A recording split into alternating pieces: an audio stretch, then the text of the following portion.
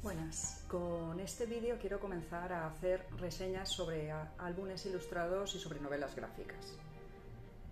Como si algunos seguís ya mi canal, veréis que además de, colgar vídeos sobre dibujos, cuelgo vídeos sobre álbumes ilustrados, sobre artbooks, porque me encantan, los colecciono. Cuando era pequeña me encantaban los cuentos, eh, cuando yo era pequeña lo de álbum ilustrado yo no conocía el concepto de álbum ilustrado, para mí todo eran cuentos pero hace unos años comencé de nuevo a conseguir esos cuentos, esos álbumes ilustrados y empecé a coleccionarlos. El primero que me compré de esta nueva colección que empecé fue Emigrantes de Soundtown. Como podéis ver, se trata del formato pequeño que hay. Existen dos formatos de este, este álbum ilustrado, uno de tapa dura más grande y este formato más pequeño en tapa blanda que era más económico. En el momento que me lo compré no me podía permitir el de tapa dura y me compré este de tapa blanda. La verdad es que no pierde la belleza que tiene este álbum ilustrado, que como os digo es muy especial para mí. Shaun Tan también es un autor e ilustrador muy importante para mí por el tipo de dibujo que hace, por las historias que cuenta. Y es por ello que he querido empezar este, esta serie de vídeos precisamente con él. Ahora os voy a hablar un poco sobre emigrantes.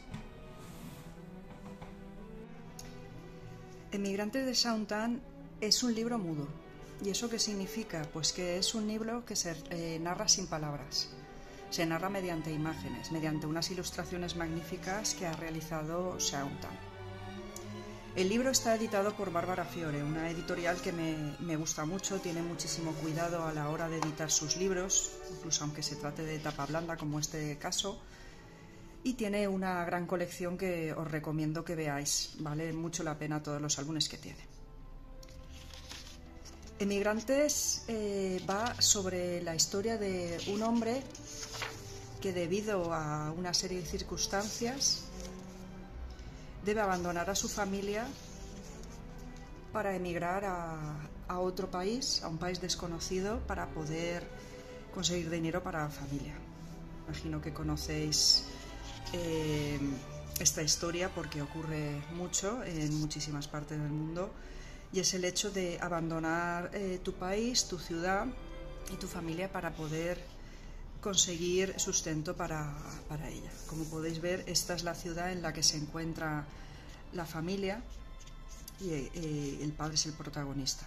Los dibujos veis que son muy expresivos, es una ciudad eh, ennegrecida, empobrecida y no le queda más remedio que irse para poder eh, mantener a su familia.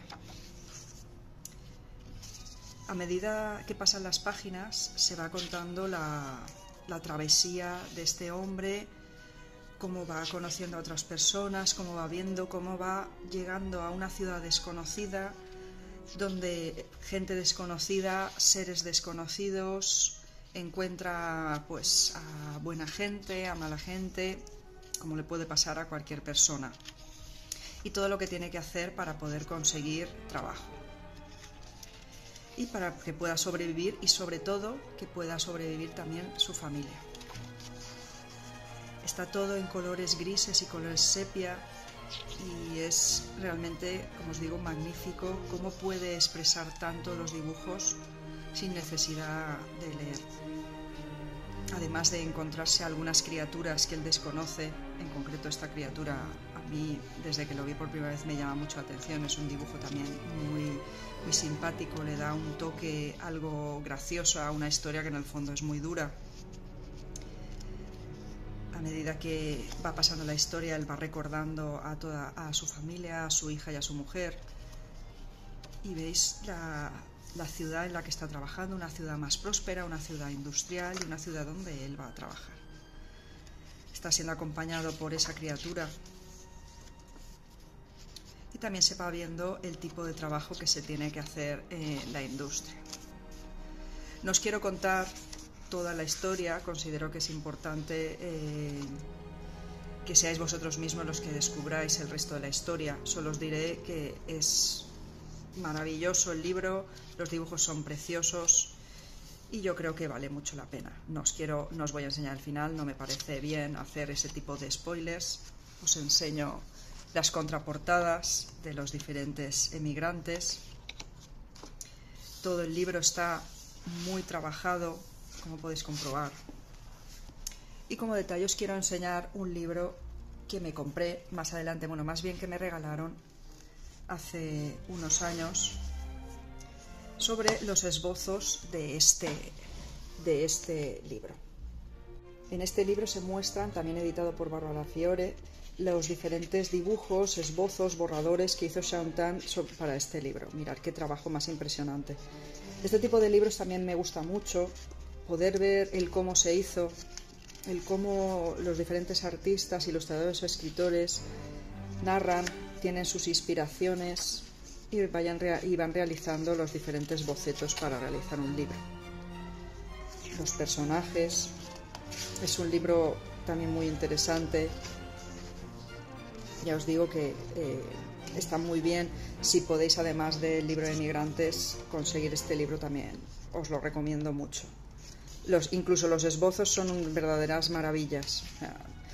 Tan eh, es un ilustrador magnífico, además tiene una imaginación desbordante y con pocos colores puede expresar muchísimo.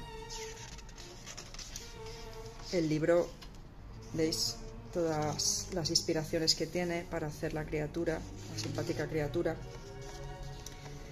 la habitación donde el hombre tiene que vivir, y las diferentes eh, utensilios, productos, todo lo que él le va inspirando.